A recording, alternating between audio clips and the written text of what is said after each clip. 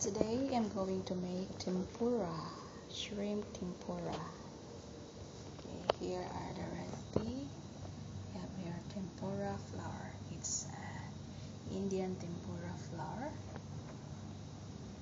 Then I have here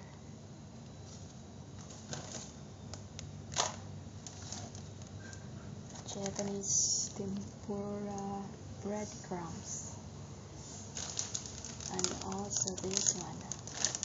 I just mix all. And I also mix some of this together with this green tea.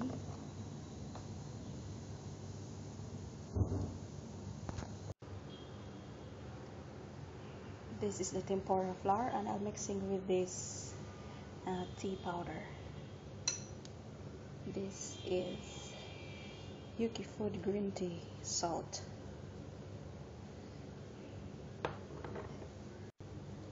And I also mix this one.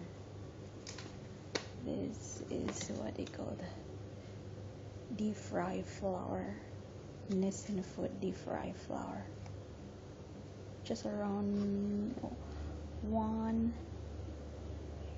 teaspoon uh, just two tablespoon. Then I mix all the dry ingredients.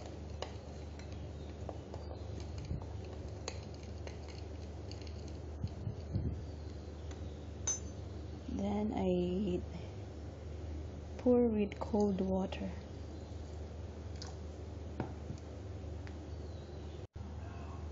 this consistency of batter is okay a little bit okay. Yeah not too dry and not too wet. Just enough to coat the shrimp. I will break two eggs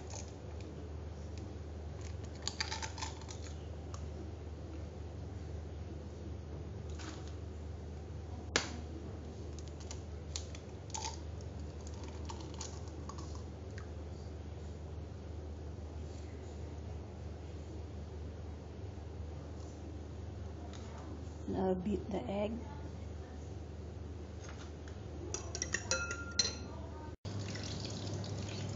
I dip in the beaten egg. Then after the beaten egg I put in the batter the flour. Then I coat with breadcrumbs